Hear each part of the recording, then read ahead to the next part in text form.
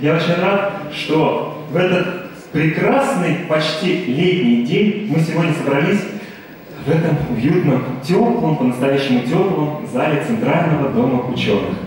И я надеюсь, что у вас у всех приближается истинное летнее настроение, и следующая композиция подарит вам именно то тепло, которое должно быть в сердце каждого зрителя.